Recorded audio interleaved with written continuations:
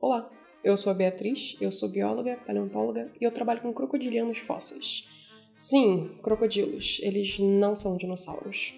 Inclusive, a maioria dos fósseis não é dinossauro. Eles são só os mais famosos por causa do Jurassic Park. Mas não importa se você trabalha com plantas, com animais, fungos.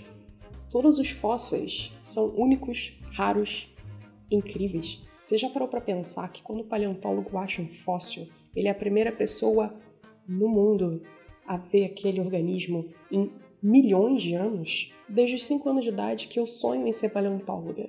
Mas eu achava que era coisa de filme. Jurassic Park, né? E foi só na faculdade que eu descobri que eu podia ser paleontóloga.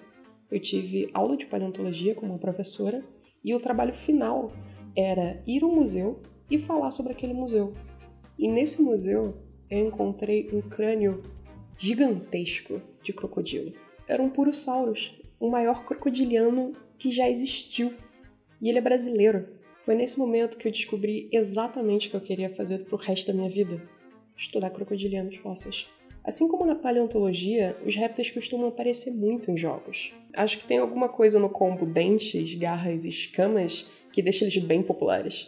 Acho que eu sou um pouco diferente, porque eu sempre gostei dos vilões e dos répteis. Meu personagem favorito desde nova é o Bowser, que tem planos geniais e vem o Mario e estraga tudo.